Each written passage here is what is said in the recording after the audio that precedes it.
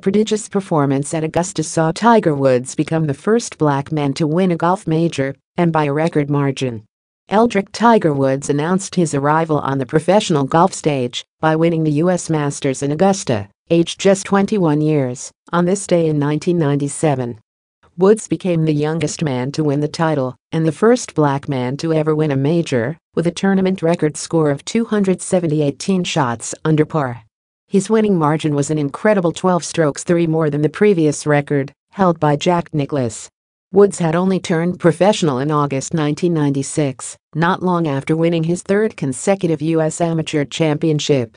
He had already attracted sponsorship and endorsements worth $60 million, such was his profile and the expectation around him.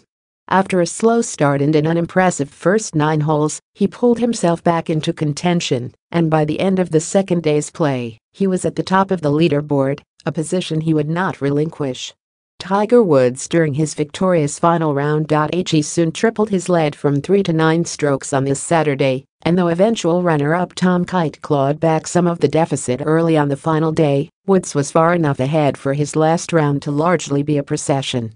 Speaking after receiving the coveted green jacket from previous winner Nick Faldo, the young champion said, I never thought I would have a lead like I did. You envisioned dueling it out with Nicklaus or Watson or Faldo, but never to do it in the fashion I did.